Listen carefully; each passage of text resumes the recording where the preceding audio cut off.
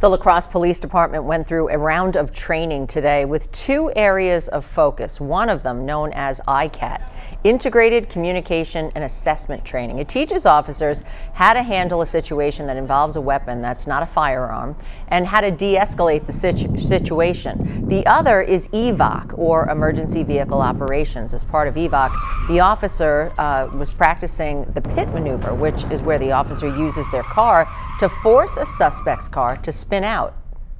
Um, there's lots of factors that go into the ability to utilize the, the pit technique safely, but we train just to, to ensure that officers have an option if, if it's available and safely, if they can do it safely. The La Crosse Police Department go through EVOC training every two years, and this is the first year they've had training focused directly on ICAT.